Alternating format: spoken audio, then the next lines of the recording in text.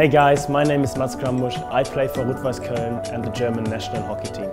The Reece 190 Grambusch Limited stick is my all-time favorite hockey stick. The stick is light but also hard and the bow is perfect for me. A good shape and a good balance. What else do you want? Check out the Reece Australia website for more details.